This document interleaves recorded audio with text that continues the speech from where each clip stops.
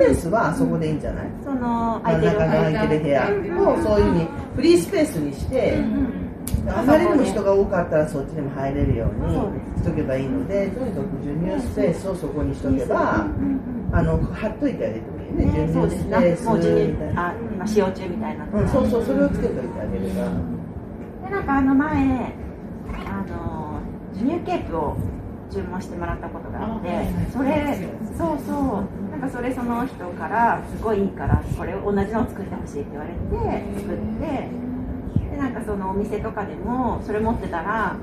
そういう授乳室なくてもできるって言ってて。授乳テープをビニールっていうかそのビニール生地あるじゃんレインコートみたいなそれだとアルコール消毒して、うんさーっと拭いてアルコール消毒すれば洗濯しなくてもいいし、確かにてかねビニールだと暑いか。でも、うんじゃあその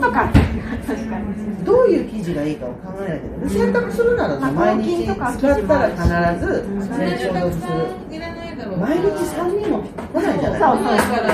洗い替えもそうそう洗い替えを2枚3枚ぐらいあれば十分じゃない、でそれでそれを